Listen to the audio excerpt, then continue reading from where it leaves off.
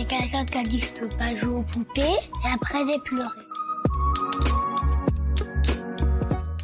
Bienvenue sur Papatriarcat, le podcast qui réfléchit la parentalité au XXIe siècle en essayant de l'affranchir du modèle patriarcal.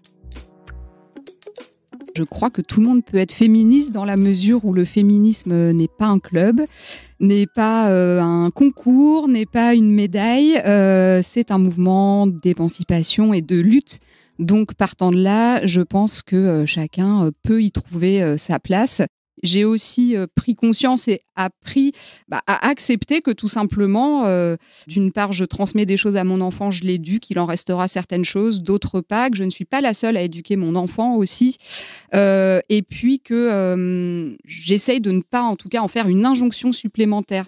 Dans beaucoup de couples, ce sont les mères qui portent les enfants, et donc Déjà, euh, il y a ce lien qui fait que la responsabilité pour ce petit être, elle arrive très tôt quand on est une femme, puisque on et en plus on, ne cesse de nous le rappeler que euh, le moindre de nos faits et gestes pourrait euh, être délétère à, ce petit être en construction. Donc il y a ça, et puis nous-mêmes on a conscience qu'on abrite un être à l'intérieur de nous il y a aussi tout un tas de gens, des hommes, mais aussi des femmes qui souscrivent euh, à cette vision des choses, qui n'ont pas envie que ça change, en fait, qui ont très peur que l'on dévirilise euh, les garçons, les hommes, euh, qu'on les émascule, qu'ils deviennent homosexuels. Enfin, il y a tout un tas de fantasmes teintés de misogynie et d'homophobie qui sont quand même très, très, très ancrés.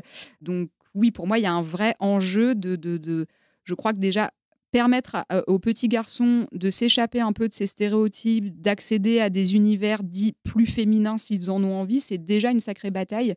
Et si on avance là-dessus, je, pense quand même qu'on aura fait un pas, euh, un pas notable on, entend beaucoup souvent des hommes dire oui, mais est-ce que vraiment les hommes ont leur place dans le féminisme? C'est compliqué de trouver sa place. Comment est-ce qu'on peut agir? Donc moi j'ai envie de dire messieurs, allez-y, agissez et expliquez euh, à votre patron, à vos collègues pourquoi non, vous ne pourrez pas euh, euh, programmer une réunion à 18h. Pourquoi oui, vous allez devoir poser une journée enfant malade et pourquoi non, votre femme en télétravail ne pourra pas gérer les deux enfants toute seule en plus de son travail. Et voilà, j'espère que cet extrait t'a plu. Tu pourras retrouver l'épisode en entier dès demain sur toutes tes plateformes préférées comme Apple Podcast, Podcast Addict, Pocket Cast ou encore Spotify. On peut aussi se retrouver sur les réseaux sociaux, sur Instagram, Facebook, TikTok, mais aussi tu peux t'abonner à ma newsletter, tu trouveras le lien en description.